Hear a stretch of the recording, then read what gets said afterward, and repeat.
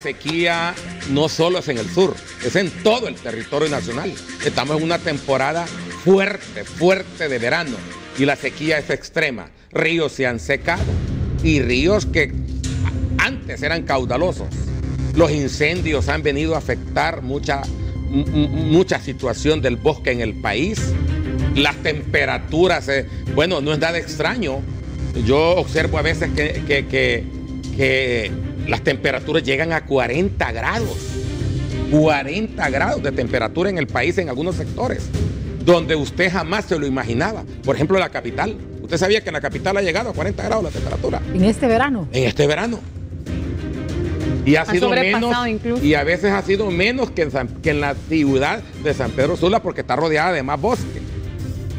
Bueno, el departamento de Olancho enfrenta una situación preocupante debido a la sequía que está afectando tanto a los cultivos como a la ganadería.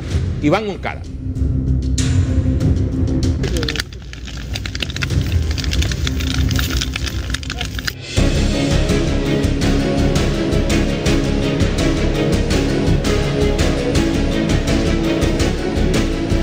La sequía, atribuida al fuerte verano registrado, está impactando severamente en los cultivos en la región de Olancho. Los productores agrícolas están experimentando dificultades para irrigar sus tierras y mantener sus cultivos, lo que amenaza con la producción alimentaria para este departamento y todo el país.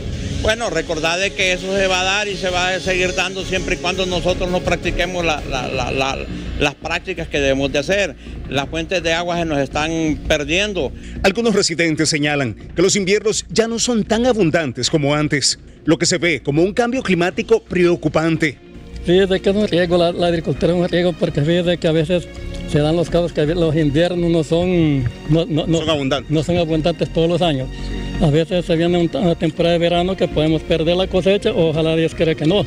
Porque si nosotros perdemos la cosecha, todos, todos estamos en un fracaso.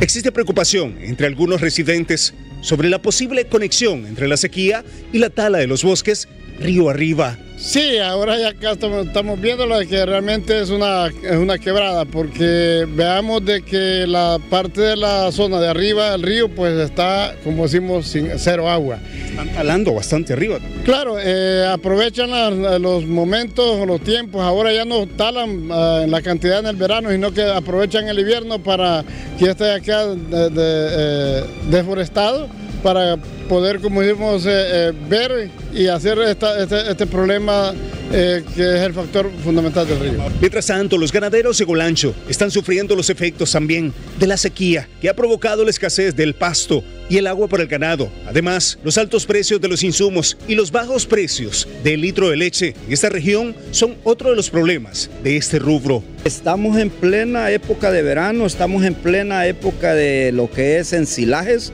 dar más concentrado, dar más hilos, el agua es complicada, o sea, ahora tenemos que, eh, las personas que no tienen agua en sus potreros tienen que jalarle al, ganado, o sea, hacemos un costo duplicado de lo que hacemos. Bueno, ustedes pudieron ver de antemano ahí cómo se miran estos potreros, realmente estamos en pleno verano. Ante esta situación es crucial que se tomen medidas urgentes y abordar esta sequía y los impactos en la agricultura y ganadería.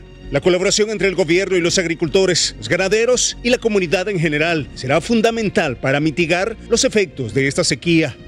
Ahorita yo creo que todo mundo ya estamos, los que tenemos una vaquita, ya estamos preocupados porque estamos viendo que este verano está topando galán y cómo se va limitando ya, ya las comidas de las vacas. Pero no, de repente hay que echarle a andar, de repente hay que buscar maneras como a veces comprar silos o hacer, tener sus su, su silos hechos.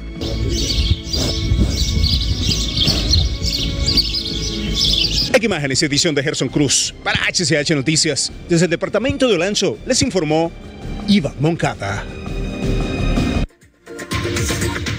Muchas gracias a nuestro compañero Iván Moncada. Vamos a